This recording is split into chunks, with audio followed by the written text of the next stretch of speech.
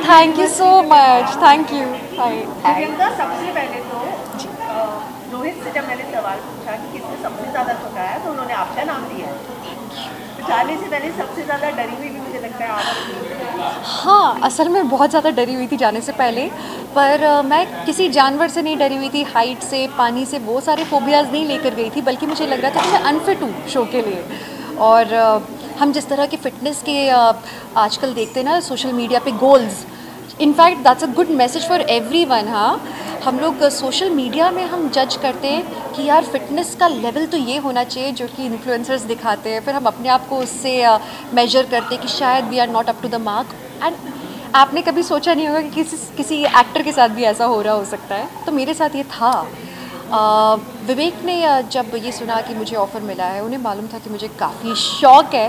इन चीज़ों का और वो मुझे खुश देखते हैं। जब भी मैं कोई भी एडवेंचर रिलेटेड एक्टिविटी करती हूँ तो ही रियली मोटिवेटेड मी और वो जो मेरे अंदर का डर था, कहीं ना कहीं उन्होंने निकलवाया। थोड़ा सा मुझे फ़िटनेस की तरफ़ उन्होंने पुश किया और समझाया कि कैसे करूँ अपने आप को प्रिपेयर एंड डर करने तक था पर जैसे जैसे मैं एक एक स्टंट करती गई, लोगों को क्या मैंने अपने आप को चौंकाया? मुझे आश्चर्य हो रहा था कि मैंने कर लिया? हो गया? वॉज़ गुड यानी डर आप यहाँ पर। सॉरी सॉरी तो अब आप मानती हैं कि आपकी एंट्री हो चुकी है खतरों के खिलाड़ी में तो शो की टीआरपी हाई होने वाली? वेल मेरी एंट्री हो चुकी है खतरों के खिलाड़ी में तो uh, मुझे लगता है कि यार शो की टीआरपी वैसे ही इतनी हाई है। मुझे लगता है कि मुझे लोग एक अलग रूप में देखने वाले हैं। अ, मैंने अपने आप को इस रूप में देखा था बचपन में कभी। उसके बाद वो दिव्यांका खो गई थी। अब वो जो खोई हुई दिव्यांका है आपको वो मिलेगी। आपको लगता है ये शो जो है इमेज चेंज करेगा? और जैसा कि आपने कहा कि इस तरह के शो को करने के लिए ज़रूरी नहीं आप फिटनेस बोल रखिए यहाँ पे डर है। जी बिल्कुल। इस शो को करने के लिए एक कोई पर्टिकुलर फिटनेस लेवल नहीं होता है डर जो होता है वो हमारे दिमाग से शुरू होता है। एक बहुत इंटरेस्टिंग चीज़ है जो मैं आपको बताऊँगी कि डर जो है ना वो हमारे आसपास के माहौल से हमारे दिमाग में आता है। कई बार हमें हमारे मम्मी पापा हमसे कहते हैं नहीं नहीं बेटा वो कीड़ा मत छूना।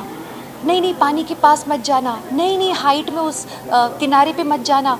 तो वो जो नई नई नई नई नई नई बच्चों बच्चों बच्चों के चक्कर में ना बच्चों के दिल में, दिमाग में वो डर बैठ जाता है। और वही डर है जो हम ज़िंदगी भर ताउम्र हम कैरी करते हैं। हाँ सर्वाइवर वो है जो बचकर चले, लेकिन विनर वो है, विजेता वो है जो उस डर के भी आगे बढ़े, उस डर को बहुत बड़ा ना बनने दे। और इस बात का एहसास मुझे खतरों के खिलाड़ी फियर फैक्टर में हुआ। अगर अगर आपको कभी अब नहीं। पहले तो जब भी मुझे कॉकरोच दिखता था वे वे वे कॉकरोच तो वो आते थे कॉकरोच हटा के हटाते थे। इवन चूहे हुए भी ऐसे होते थे तो मैं दूर भाग लेती थी। बट अब मैं ज़्यादा दिलेर हो चुकी हूँ इस शो के बाद में।